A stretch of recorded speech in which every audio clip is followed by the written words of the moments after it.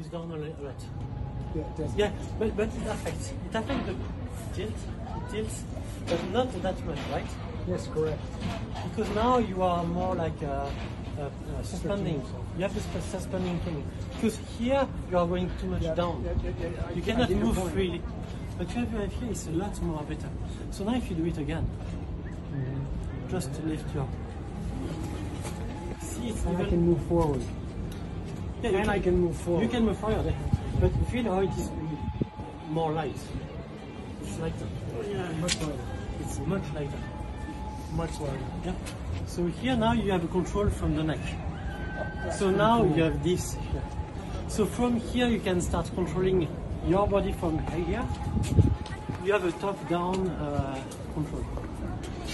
Like a marionette almost. Yeah, it's like you have a you have a weight here and like a buoy, and you move your body like this. It adjusts top down and not bottom up. Oh, that's cool.